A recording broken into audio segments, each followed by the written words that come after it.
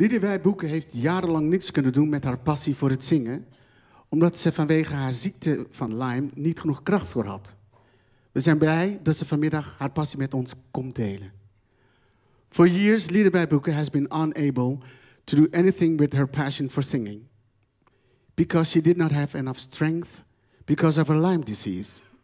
We're happy to say that she's sharing her passion with us today. Liedewij Boeken en weer begeleid door, door Louise.